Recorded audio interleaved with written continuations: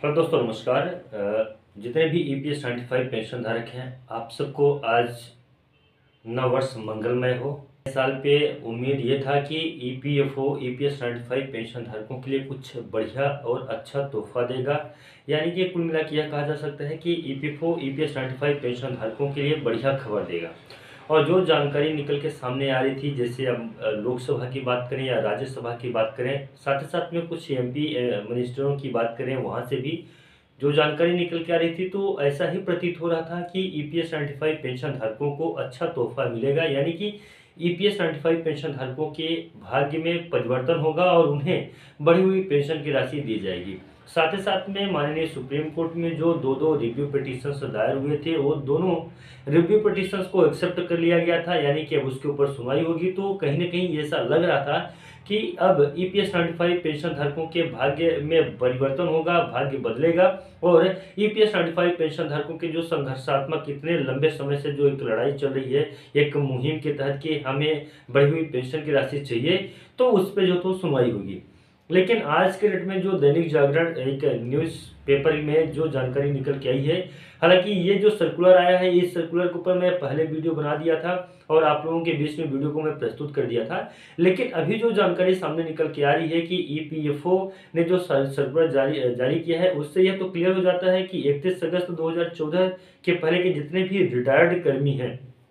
उन्हें किसी भी प्रकार का कोई मोहलत या किसी भी प्रकार का कोई छूट नहीं दिया जाएगा। उन्हें तो क्लियर हो जाना चाहिए कि बढ़ी हुई पेंशन का लाभ उनको नहीं मिलेगा। अब 2014 31 अगस्त 2014 यानी कि 1 सितंबर 2014 के बाद वाले जो हैं, उन्हें बढ़ी हुई पेंशन की राशि दी जाएगी। उसके लिए भी क्या क्या प्रावधान है, वो भी बताए गए हैं उसमें। किस प्रकार से अप्लाई करना है, फॉर्म फिल किस प्रकार से करना है कौन कौन सी जानकारियाँ हैं, सारी की सारी जानकारी के ऊपर मैंने अलग से एक वीडियो बना दिया है। फ़िलहाल दोस्तों, आज हमारा जो तो ई पी एस पेंशन धारक जितने भी हैं, उसके लिए कोई जानकारी या कोई न्यूज़ लेके आना नहीं था। सिर्फ़ और सिर्फ़ मैं आप लोगों के बीच में जो तो एक नौ वर्ष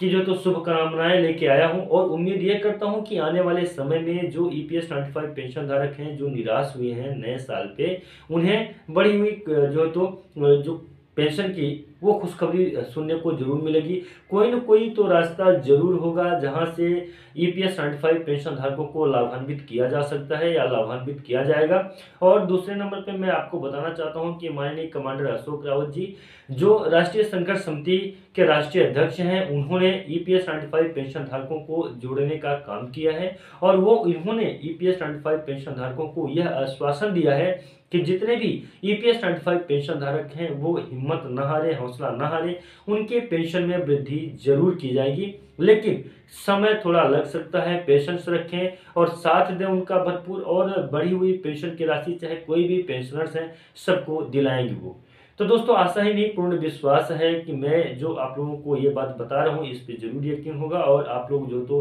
पूर्ण रूप से सपोर्ट और सहयोग, समर्थन करेंगे मेरा। साथ ही साथ में दोस्तों, आज नया साल है, इसलिए मैं अपने वीडियो के माध्यम से जितने भी E P ninety five pension धारक हैं, आप सबको नए साल की हार्दिक शुभकामनाएँ देना चाहता हूँ और साथ ही साथ में मैं यह कोशिश करूँगा कि आपकी आवाज़ को ऊपर तक पहुंचाऊं ताकि आपको आपका अधिकार, यानी बढ़ी हुई पेंशन की राशि मिले। तो दोस्तों, आज के लिए बस इतना ही था। नमस्कार जय हिंद जय